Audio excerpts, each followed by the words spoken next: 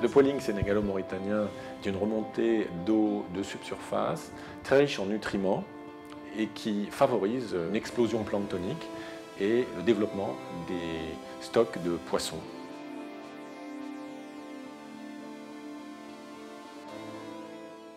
Nous avons donc choisi d'installer une bouée océanographique et climatologique au cœur de cette poiling, euh, au large de Dakar. Une bouée que nous avons mis en place dans le cadre du laboratoire mixte international Éclair, avec l'appui du programme européen Préface. Dans l'immédiat, les données de la bouée vont servir à aider à une meilleure prévision de la mousson africaine. Ça va permettre aux agriculteurs de mieux déterminer les dates des premiers semis. À moyen terme, à mieux comprendre la variabilité du climat ouest africain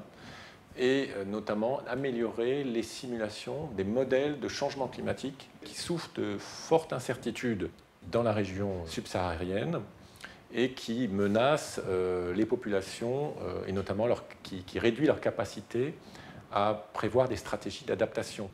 Les données de la bouée vont permettre de mieux comprendre le système de courant, de température, de salinité qui euh, forme l'habitat des poissons et du plancton. Nous participons actuellement à un programme de travail coordonné entre les communautés de pêcheurs, l'État sénégalais, et d'autres pays ouest-africains et les scientifiques pour tenter de mieux gérer ces stocks de poissons très importants pour l'économie ouest-africaine, autant en termes d'emploi qu'en termes d'apport euh, alimentaire.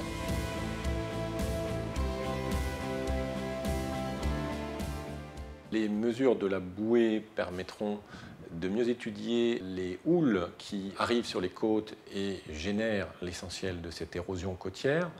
une érosion qui a un fort impact économique, d'une part pour les aspects touristiques très importants pour les pays d'Afrique de l'Ouest, d'autre part pour les villages euh, ou les villes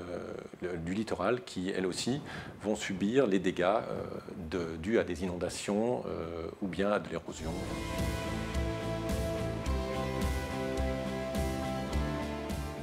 Nous envisageons en particulier le développement d'un projet de réseau international le long du littoral africain, constitué d'un ensemble d'une dizaine de bouées similaires à Mélar, qui permettrait de suivre en temps réel l'évolution de l'environnement euh, océanographique et climatologique des côtes d'Afrique.